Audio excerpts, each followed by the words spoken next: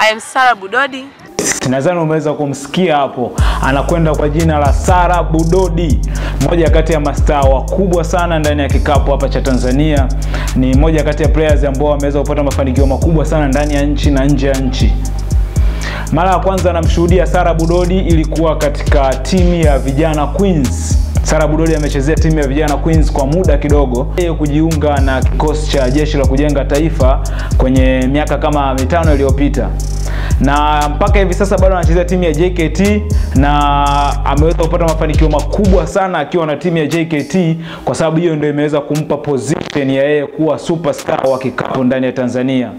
Sara Budodi ndani ya mwaka 2019 katika mashindano ya Zambia International Tournament yaliyofanyika Harare alienda na timu ya JKT wakiperform vizuri sana timu ya wanawake na kuingia mpaka nusu fainali.